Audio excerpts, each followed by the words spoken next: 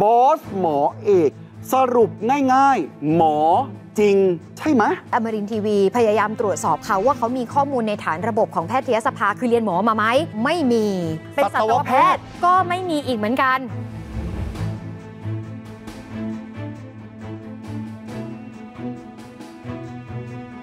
คุณผู้ชมฮะ แล้วภาพต่างๆที่ออกมาบอกว่าเป็นหมอที่เชี่ยวชาญด้านผิวหนังค่ะด้านสกิน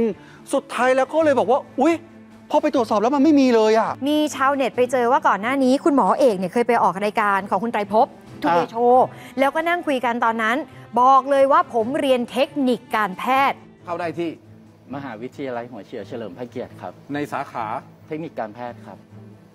วันนั้นอาจารย์เห็นถึงความตั้งใจ ก็เลยให้ผมอะได้รับสิทธิ์พิเศษในครั้งนั้น จนจบครับ กี่ปีจบ 4 ปีครับ4ปีปกติเลย คือจบเทคนิคการแพทย์ถามว่าจะไปเป็นหมอได้ไหมเป็นได้ เป็นได้ แต่ต้องไปเรียนต่อไปเรียนใหม่อะแล้วต้องไปสอบเอเขาอต้องไปสอบเป็นหมอค่ะ ไม่ได้ว่าจบเทคนิคการแพทย์ 4 ปี แล้วจะเป็นหมอล่าสุดเห็นบอกว่ามีเพจอีซ้อขยี้ข่าวไปพบภาพของเขา วันที่เขาบอกเขาจบปริญญาเอก ภาพเหมือนจบเมืองนอกเลยด้วยใส่ชุดนั่นๆๆคุยเหมือนต่างประเทศ โอ้ คุณผู้ชมคะพอไป search มาภาพนี้ไปปรากฏอยู่ในเครือข่ายการถ่ายภาพ รับปริญญาของมหาวิทยาลัย IUM International University of Morality แต่ข้างหลังเป็นข้าภางษาบนไทย น่ะเป็น International University ใช่ไหมใช่สิ และตรงกลางเอ๊ะพิธีประสาทประสาทและเกียรติบัตรปริญญาบัตร และปริญญาบัตรทำไมเป็นภาษาไทยอะเลยลองเซิร์ชข้อมูลดูค่ะ บอกว่า International University of Morality เนี่ยนะคะอยู่ที่ฟลอริดาสหรัฐอเมริกา ก่อตั้งในปี 2014 ค่ะ จากการตรวจสอบมีการจดทะเบียนทำเป็นสถาบันการศึกษาถูกต้อง แต่ทีนี้พอลองเซิร์ชหาสถานที่ตั้ง ปรากฏว่าลักษณะเหมือนตั้งอยู่ในตึก เปิดภาพจาก Google Map ดูค่ะ หาจุดที่เป็นตึกเรียนไม่เจอไปเจอประตูทางเข้าอยู่ติดกับเอ้าร้านสปา เราก็ลองเลยดูว่าวุฒิที่เปิดสอนในมหาวิทยาลัยนี้มีอะไรบ้าง เกษตรกรรมเออธุรกิจ วิศวกรรม อุตสาหกรรม สุขภาพ กฎหมาย กีฬา ศาสนา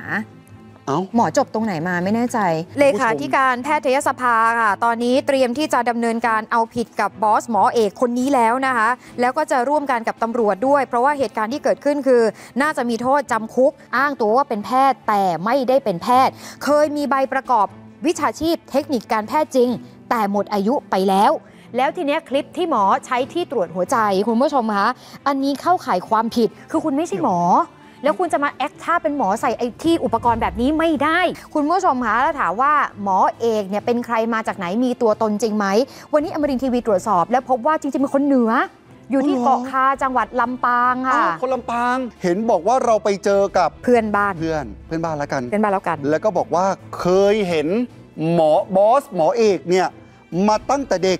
เพราะเป็นเพื่อนกับลูกสาวอ่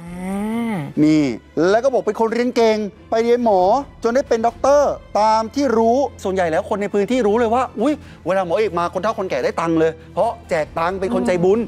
แม่เคยเห็นหน้าแกเป็นคนเกินเนี่ยอยู่เนี่ย แต่แกเห็นเก่งไปเห็นหมอก็ได้เป็นด็อกเตอร์เนาะตามที่แม่หู้น่ะ แม่เป็นคนบ้านเนี่ย แกจะเติบโตกับลูกสาวของแม่ แกเป็นคนนิสัยดี เป็นคนทำบุญน่ะถ้าแกมีธุระปีหนึ่งแกจะมาสองครั้งแล้วก็ ถ้าแกบ่มีธุระแกกับบ่มาแกแกมาแกก็อยู่กินกับหมูพี่น้องเปิ้นคุณหมอแกช่วยมดวัดบ้านเฮาตีว่าเป็นวัดเป็นอย่างมาน่ะ แกจะช่วยมดแกเป็นคนใจบุญแล้วธุรกิจของแกนี่แม่เคยเห็นเออแม่บ่ฮู้แม่บ่ฮู้บ่เห็น อัปเดต 34 HDF เวอร์ชันใหม่ รางวัลใหญ่รออยู่นะคะ